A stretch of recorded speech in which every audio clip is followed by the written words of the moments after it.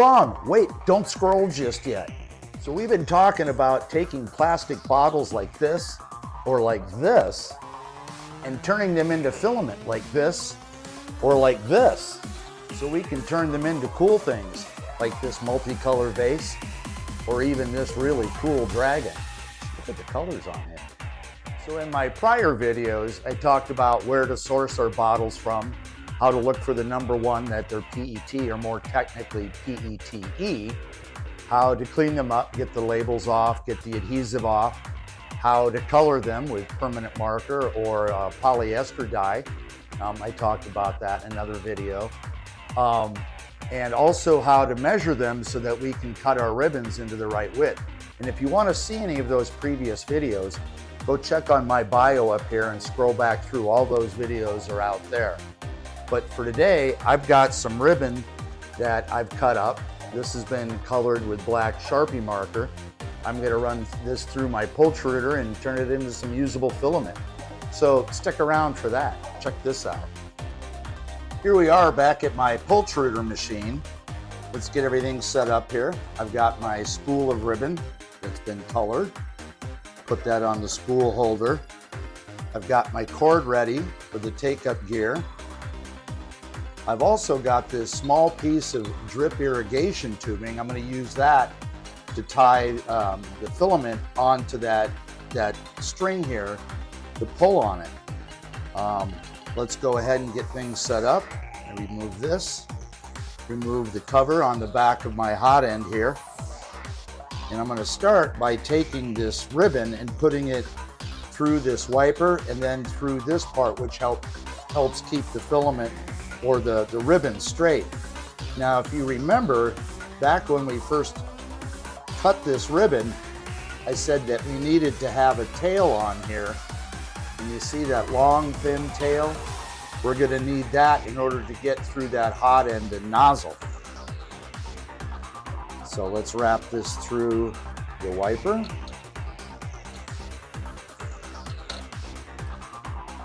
Pull this through here.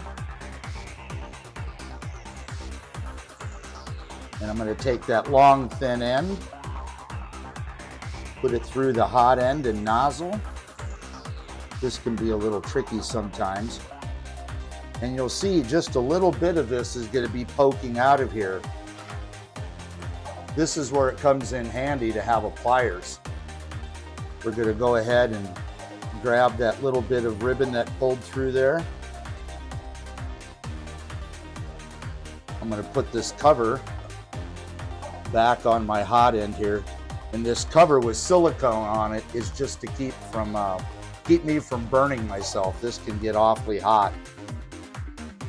So I'm going to come over here and I'm going to start up one of my G-code files that is going to run this at 210 degrees Celsius. And it started, and while that's warming up, I can get a good grip on the tail end of that and very carefully start pulling some of that through. Be careful not to, to break off the thin end of that, that ribbon. But as that nozzle begins heating up, we can start pulling that ribbon through.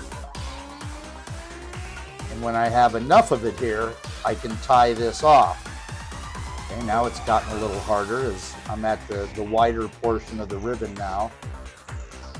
This might make things a little easier to see. Go ahead and grab our ribbon. Pull it a little bit more. That should be enough.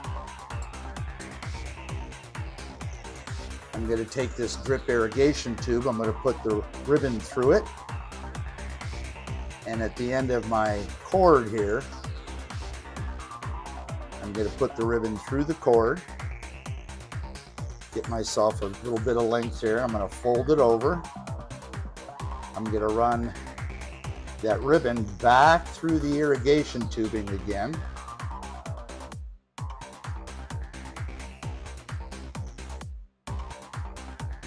Okay, then I'm going to take that tag end and at this end of the tubing, I'm going to put it in between the two halves of the of the ribbon. Take my pliers, pull the tubing down. I'm going to pull that loose part of the tag end through. Take the tag end and run it in between the tubing and the ribbon. One more time, I'm going to take that pliers and grab that tag end. Going to pull it tight so that it makes a little bit of a knot at the back end here. When this is done correctly, there's going to be quite a bit of tension on this filament and this ribbon, so we don't want this knot to come undone. I'm going to take the flush cutters here. I'm going to cut off just a little bit of that tag end.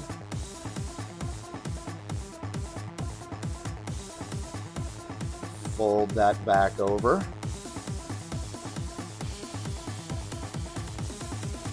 And then by hand, I'm just turning the, the take-up spooling gear here There's a little better angle. And I've taken some of the slack out of it. Our Pultruder machine says it's up to temp and I can press start to start spooling. And you'll notice here that this stepper motor is turning. And there's quite a bit of a gear ratio here. This is a rather slow process. It could take from two to two and a half hours to run through about 14 meters of this ribbon. Now, in my setup here, I have this filament out sensor. And as soon as this knot and tubing gets over my little comb here, and I know that it's working correctly, I'll take the safety out of uh, that filament sensor. So at the end of the process, when all the filament is done, it'll automatically shut off. I won't need to be here at the end of it. If you don't have a filament sensor, and this just keeps running and running with that loose end of the filament, that filament could get caught between your gears and get all chewed up.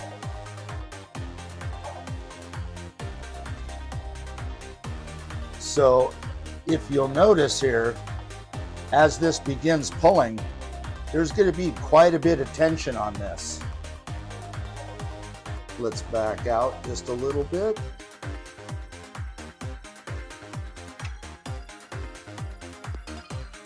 If there isn't very much tension on this, likely your ribbon is not wide enough.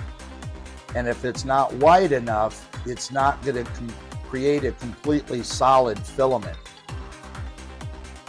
Now there can be uh, a little bit of testing back and forth to make sure that you get your ribbon the right width. If it's too narrow, it'll be too easy to pull and it won't make a complete filament that's complete all the way around if it's too wide, you'll likely not be able to pull it through that hot end.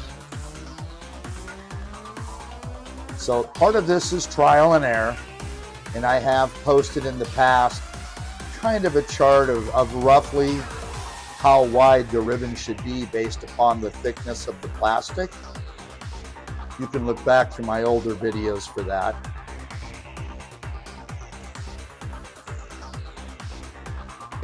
Okay, there we go. Now, just like with any Marlin configuration or Marlin setup, let me see if I can zoom in here. Some of you may recognize this Marlin screen. I can actually turn up the speed here. So we'll turn it up to 150%.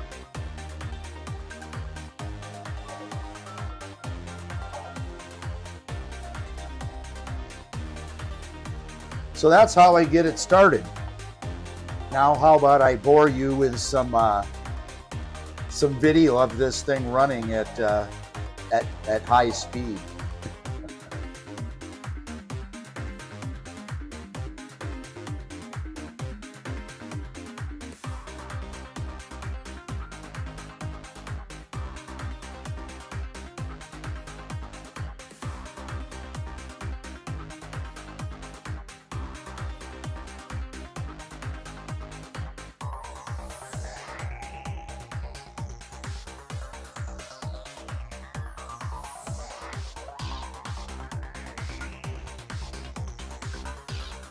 Okay, well, the pultruder's done.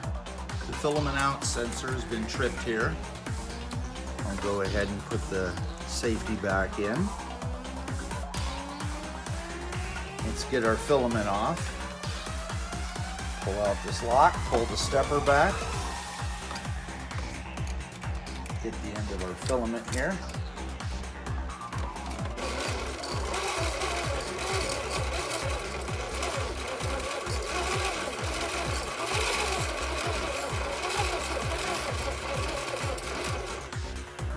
We are at the end.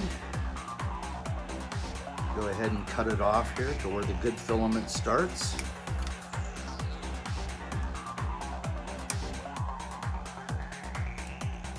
Recover our piece of uh, drip tubing.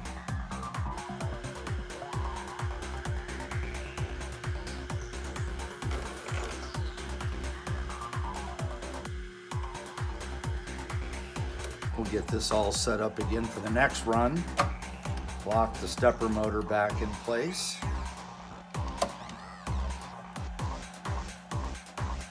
There we have it, our finished filament. In the next video, I'll show you how to join a number of these together on some larger spools that I made so we can get it all prepared to use on one of our printers. You have any questions or comments about this process, be sure to drop me uh, a note in the, in the comments here. Hope you enjoyed and hope you come back for the next one.